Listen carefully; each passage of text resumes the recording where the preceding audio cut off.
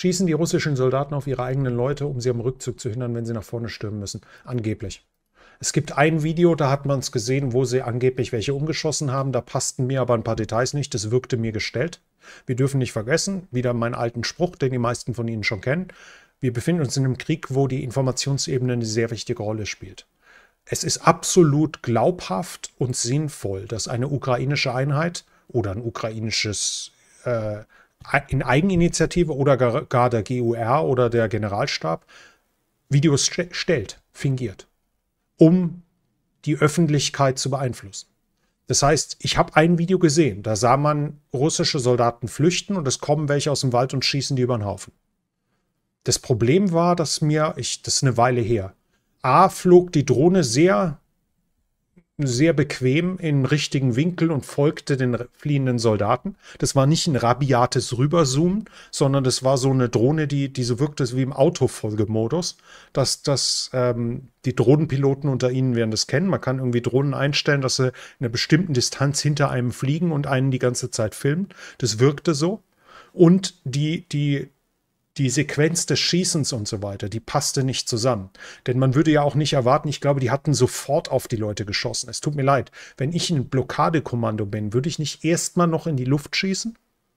Also da passte irgendwas nicht. Das ist das einzige Video, was ich gesehen habe und das hielt ich für nicht glaubhaft. Nicht für ausreichend authentisch, um es für voll zu nehmen. Ansonsten haben wir die Berichte seit Kriegsbeginn. Hier schon Butcher, die ganze Region und dann kommen wir wieder zu den Kadyrovzi. Das waren die, die als erstes diesbezüglich genannt wurden.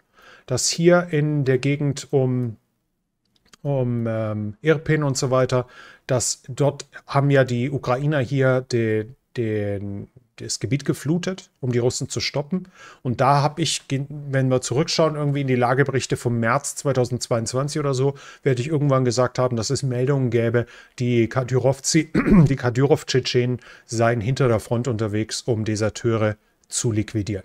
Das heißt, die Meldung gibt es von Kriegsbeginn. Ähm, das, was in nennenswertem Maße stattgefunden hat.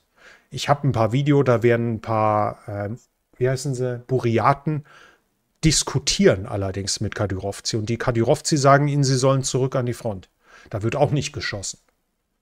Also, ich bin nicht überzeugt, dass das ein, ein, ein breitflächiges Problem ist. Es gibt Berichte und es gibt auch Berichte von halbwegs vertrauenswürdigen Quellen. Aber handfeste Beweise liegen mir in breiter Front nicht vor. Das, das ist nur das, was ich dazu sagen kann. Wenn Ihnen das Video gefallen hat, dann schauen Sie doch mal vorbei auf dem Hauptkanal, wo es ursprünglich erschienen ist. Militär und Geschichte mit Thorsten Heinrich. Den Link dazu finden Sie hier in der Beschreibung.